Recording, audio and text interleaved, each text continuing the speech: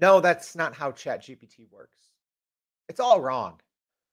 Today, we dedicated eh, about 37 minutes to telling you the telltale signs of when someone who's talking about ChatGPT, large language models, generative AI has no clue what they're talking about. So, we're going to do the very quick five ish minute recap of today's show about no, that's not how ChatGPT works. All right, my name is Jordan Wilson. This is a quick AI in five, but Everyday AI is a daily live stream podcast and free daily newsletter helping everyday people learn and leverage generative AI. So let's give you a very quick recap of what we talked about today. And here's why we had this episode because people are wrong about ChatGPT.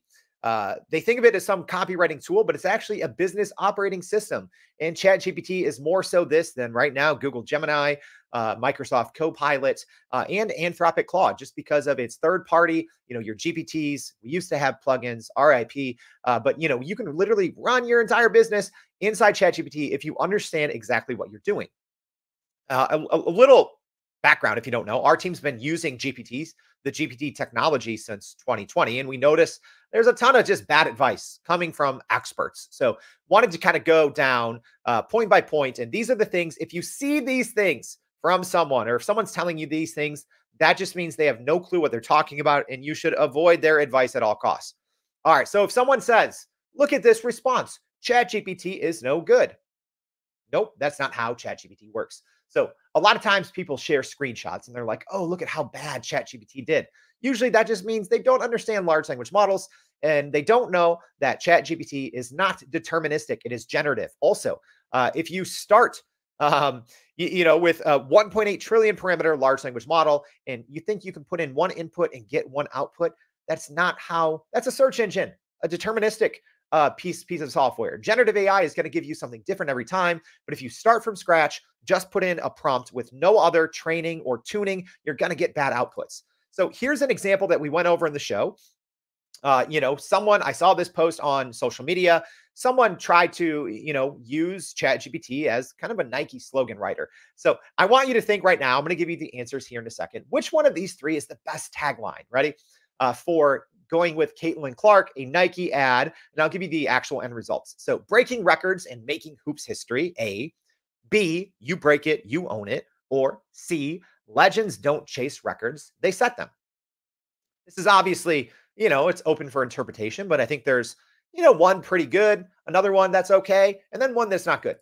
All right. So this is the example of, of the, you know, what I saw on social media. And this is not, you know, just calling out one person because I've seen this hundreds of times. This is just a recent example. So if you just go into ChatGPT, give it no other information, and just say, write a headline for an ad featuring Iowa basketball player Caitlin Clark. She broke the record for most points ever scored by an NCAA woman in basketball. Be clever. ChatGPT is going to come back with something like breaking records and making hoops history. Not very good. So if you just share that screenshot on social media and say, ChatGPT is not good, AI is not good, our jobs are safe. No, that just means you don't understand how large language models work.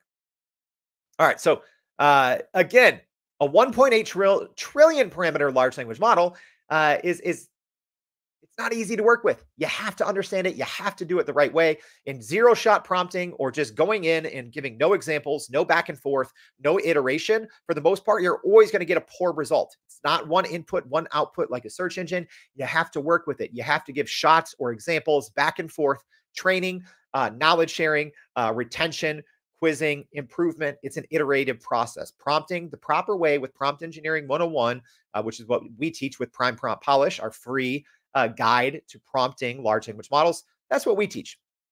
So here's, I did the exact same thing uh, inside of ChatGPT, but instead of just clicking new chat and, you know, writing like three sentences, this is what I did. So I took it through our prime prompt polish process, 4,500 words, right? 6,000 tokens. This is actually what I did. And I'll show you one of the actual results that I got. But this is the process you need to go through. It's iterative. You have to teach, you have to actually refine a large language model. 1.8 trillion parameters is too many. You have to spend time teaching it what's good and what's not. All right. So then here's the actual results. Uh, and, and what I was shocked with, we asked our live audience which one was best. And overwhelmingly, people said C, which was the version that I trained in ChatGPT through Prime Prompt Polish, right? Uh, the Nike ad, the actual Nike ad copy was "You break it, you own it."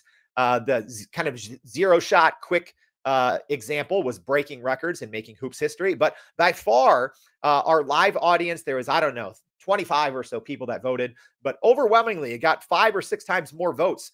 Was the proper uh, me using ChatGPT the proper way with Prime Prompt Polish, which is legends don't chase records, they set them. So that is a result I got when I went through this process. This is how you use ChatGPT. You do not use ChatGPT like this. You will get bad outputs every single time. All right, let's go over some more kind of things to look out for. If someone says ChatGPT is never out of date because of Bing, that's not how ChatGPT works. All right, Bing can't actually read URLs. It relies on SEO, which can be very finicky, and it can actually bring you in uh, outdated info that's even more outdated than the April 2023 knowledge cutoff date for a GPT-4. Another one, try these 25 prompts to 10x your workflow, or anyone sharing copy and paste prompts. That's not how ChatGPT works, uh, or large language models. Copy and paste prompts literally do not work. That's not how it works, y'all. Like uh, the whole point, and you can go look at benchmarking for different models uh, prompt engineering 101 the more iterations the more shots the more examples the more training that you provide a large language model the better the output's going to be so uh, a simple copy and paste prompt i don't care how good it is that's what we teach in our free training we show you why it doesn't work like that all right so that's not how it works all right next paste in your writing style and chat gpt will write like you nope not how ChatGPT works. Unless you are the most, which is fine, unless you are the most vanilla, plain, uh, bland writer, doing this and giving ChatGPT just examples, you know, three examples, five examples, 10 examples of your writing or building, uploading it into a, a GPT, it's not how ChatGPT works. It doesn't work like that. You have to turn and you have to first understand tokenization because ChatGPT technically doesn't understand your words. It converts everything to tokens, it thinks in tokens, and then it just converts them. All right.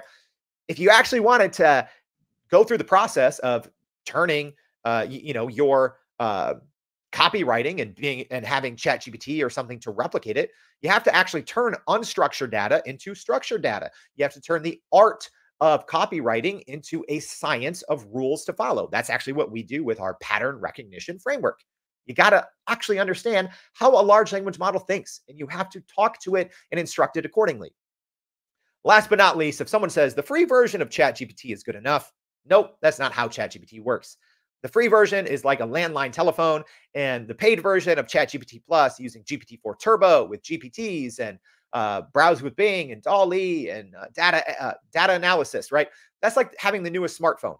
Two completely different things. You can't get a lot done with a landline. You can get a lot done with the newest smartphone. I hope that was helpful. A very quick breakdown of nope, that's not how ChatGPT works. If this was helpful, go watch the whole show, but go to youreverydayai.com, sign up for the free daily newsletter where we break down, and we normally do an AI in five like this every single day. I hope this is helpful. We'll see you back for more Everyday AI. Thanks, y'all.